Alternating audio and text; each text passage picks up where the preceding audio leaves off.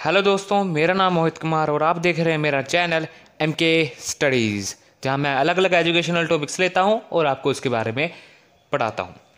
तो हम सोर्सेज देख रहे थे, उसमें से लिटरेसी सोर्सेज कर रहे थे जिसमें से हमने ग्रीक राइटर्स कर लिए हैं और रोमन राइटर्स कर लिए हैं।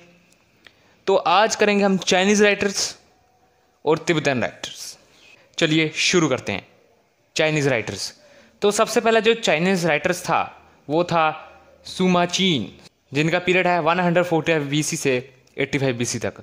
और ये पहले चाइनीज़ राइटर हैं, जिन्होंने इंडिया के बारे में लिखा अपनी टेक्स्ट, हिस्टोरिकल मेमोरीज। आगे हैं पैन कोऊ एंड फाइने, जिनका पीरियड है 378 एडी से लेकर 445 एडी तक।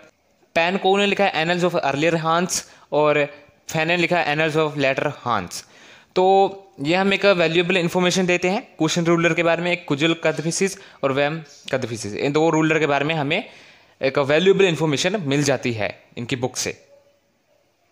आगे हैं फाहीन, जिनका पीरियड था 399 से लेकर 414 एडी तक। और ये इंडिया आए थे जब उस वक्त गुप्ता रूलर विक्रमादित्य का पीरियड था। और, लगभग ये इंडिया में पंद्रह से सोलह साल तक रहे कुछ इस पीरियड के दौरान। और ये आए थे विनय पटाक की जो ओरिजिनल कॉपी थी उसे कवर करने। चाइना जाते वक्त अपना ट्रैवल अकाउंट भी लिखते हैं फोक्यू की, जिसमें हमें बुद्धिस्ट कंट्री का रिकॉर्ड भी देखने को मिल जाता है। इसका ओरिजिनल फॉर्म अभी भी अवेलेबल है और ये हमें हिस्ट्री कल्चर और सिविलाइजेशन ऑफ़ गुप्ता पीरियड तो ये इनके बारे में जानकारी देता है कि उस वक्त गुप्ता पीरियड के दौरान कैसे कल्चर हुआ करता था, ठीक है, उसके इतिहास के बारे में। और ये बुद्धिस्ट पॉइंट ऑफ़ व्यू से लिखा गया है, यानी कि सब समझ सकते हैं कि ये रिलीजियस पॉइंट ऑफ़ व्यू से लिखा गया है। आगे आते हैं सुंग यून जिनका पीरियड था 518 से लेकर 22 एडी तक। और ये इंडिया आते हैं बुद्धिस्ट टेक्स्ट की तलाश में और चाइना वापस जाते हैं 170 महायन टेक्स्ट के साथ। आगे है ह्यून तसांग, जिनका पीरियड 629 से लेकर 45 एडी और मैं आपको बता दूँ, ये जो पीरियड है, मैं आपको बता रहा हूँ, इसके दौरान ये इंडिया आए थे। ठीक है, जो इनका मैं कह रहा हूँ, पीरियड है। और आप सोच रहे होंगे कि मैंने यहाँ सिर्फ़ 45 फाइव क्यों लिखा है? जबकि एडी तो फॉरवर्ड काउंटिंग चलती है। तो मैं आपको बता दूँ, इसको हम ऐसे पढ़ेंगे 629 एडी से लेकर 645 एडी तक। तो ऐसे आप पढ़ेंगे। ठीक है? तो ये एक सीधी काउंटिंग है। तो ह्यून तसांगे इंडिया आते हैं, हर्षवर्धन के रीजन में, जो कि वर्धान डायनेस्टी का रूलर था। और लगभग ये तेरह से चौदह साल तक रहते हैं। ये पीरियड आपको जैसे मैंने बताया लगभग तेरह से चौदह साल तक, जो मैंने, जितने आपको पीरियड बताए हैं, इन साथ में राइटर्स के तो वो इंडिया के आने का उनका पीरियड है। ठीक है? तो इन्होंने नालंदा महावीरा में स्टडी की दो साल के लिए। फिर ये जाते हैं नरसिंह वर्मना वन के मम्मल, जो पल्लवा रूलर था कांची का, उसके रीजन में जाते हैं six hundred forty one A में। और वहाँ बहुत लंबे समय तक रहते हैं। अपना ट्रैवल अकाउंट भी लिखते हैं सी यू की। सी यू की यानी कि इसमें वेस्टर्न वर्ल्ड के बुद्धिस्ट कोर्स के बारे में है। और इनका अकाउंट हमें बहुत इन्फॉर्मेशन देता है। पहले तो ये हमें कंट्री की जो हिस्ट्री और कल्चर है, उसके बारे में बताता है। और ये हमें बहुत मददगार साबित होता है कि जो हिस्टोरिकल इवेंट है, उन्हें एक क्रोनोलॉजिकल वे में लेके जाना, आप कह सकते हैं सीक्वेंस ताकि हम हिस्ट्री को, पूरे इवेंट को कनेक्ट कर सकें। और स्पेशली इसने हर्षवर्धन की ज़िंदगी के बारे में लिखा है।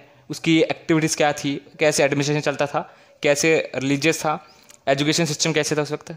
तो ये ये एक हुना रूलर है, मेहरकुला मेहरकुला। उसके बारे में भी लिखता है, जिसे किंग और आप कह सकते प्रिंस ऑफ़ पिलग्रिम्स भी कहा जाता है। आगे है ह्यू ली, जो अपनी फ्रेंड ह्यू तसांग की बायोग्राफी लिखते हैं the biography of Hiuen Tsang.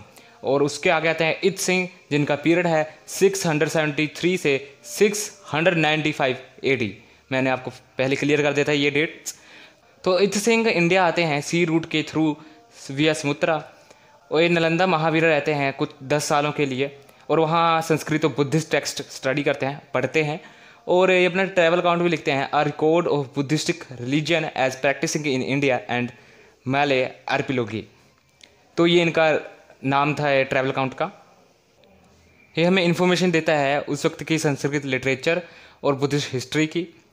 जो इत सिंह की ऑटोबायोग्राफी है और फ़ेमस बुद्धिस्ट मॉन्क्स की, उसमें हमें इंडिया की सोशल इकोनॉमिक और कल्चरल जो लाइफ है उस वक्त की, वो हमें सब कुछ इन्फॉर्मेशन दे देता है। एक सफाइज आप कह सकते हैं नॉलेज मिल जाती है। इन्हें श्री गुप्त के साथ भी रेफर किया जाता है। मानते हैं कि जो श्री गुप्त है, ये गुप्ता डिनेस्टी के पहले रूलर हुआ करते थे फ़र्स्ट रूलर हुआ करते थे। आगे है Hui Chao seven hundred twenty seven eighteen का पीरियड रेफर किया जाता है, इन्होंने डूइंग्स की थी। कश्मीर की मुक्ता पीड़ा। और कनुज की जो यशोवर्मा है, वो इन्होंने की थी। आगे है मातवलिन थर्टीन सेंचुरी एटीन पीरियड हो गया। और ये हमें इन्फॉर्मेशन देते हैं जो हर्षवर्धन की ईस्टर्न कैंपेन था। हर्षवर्धन कौन? वर्धान रूलर। तो इनका जो ईस्टर्न कैंपेन था, उनकी ये हमें नॉलेज देते हैं मतलब इनके बारे में हमें इन्फॉर्मेशन प्रोवाइड कराते हैं। देन लास्ट मोहान, जो कि इंडिया आते हैं 1406 एडी में फिफ्थ सेंचुरी एडी के आसपास। तो ये बंगाल पहुँचते हैं और इम्प्रेस हो जाते हैं कि इंडिया के एक इनरिच्ड रीजन को देखकर ये बहुत इंप्रेस होते हैं और वहाँ जो बंगाल की मैन्युफैक्चर्ड थिंग्स थी, उनका बहुत तारीफ़ करते हैं कि कितनी बढ़िया सुंदर सुंदर चीज़ें हैं। तो ऐसी तारीफ़ करते हैं और इम्प्रेस हो जाते हैं बंगाल जाकर। आगे करते हैं तिब्बतन राइटर्स तो तिब्बतन राइटर्स पढ़ते हैं। पहले तरानाथ ट्वेल्थ सेंचुरी एडी में आए और एक पॉपुलर तिब्बतन हिस्टोरियन है। ये लिखते हैं कंग्यूर और तंग्यूर। जो हमें एंशियन इंडिया के बारे में नॉलेज देते हैं इन्फॉर्मेशन देते हैं, उसके बारे में कि एंशियन इंडिया कैसे था उस वक्त।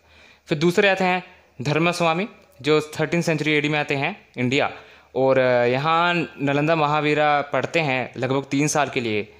तो पीरियड होगा उनका ट्वेल्व हंड्रेड थर्टी फोर से लेकर थर्टी सिक्स ए डी के आसपास।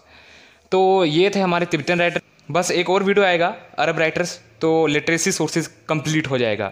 फिर करेंगे आर्कोलॉजिकल सोर्सेज वो भी जल्दी कंप्लीट हो जाएगा। तो हिस्टोरिकल सोर्सेज पर कंप्लीट करने के बाद हम हिस्ट्री पढ़ेंगे और सिक्वेंस में पूरा चलेंगे समझते हुए। So thank you so much like करें सब्सक्राइब करें शेयर करें कमेंट करें।